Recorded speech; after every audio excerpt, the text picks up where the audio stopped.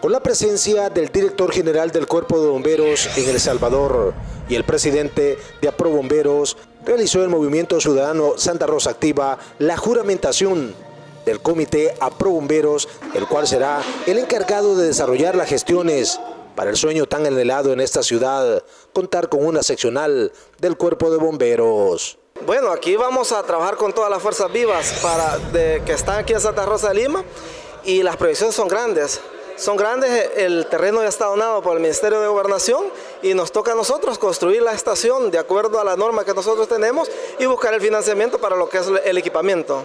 Según lo dado a conocer por el director general de bomberos, se ha dado un paso muy importante y para el próximo año las proyecciones son mayores.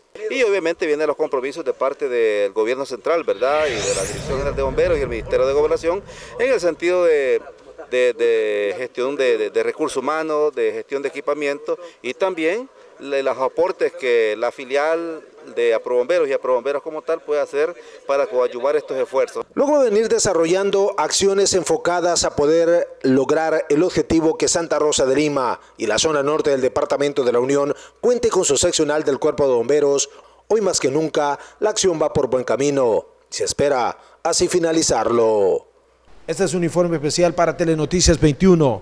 Desde Santa Rosa de Lima, Roger Baires.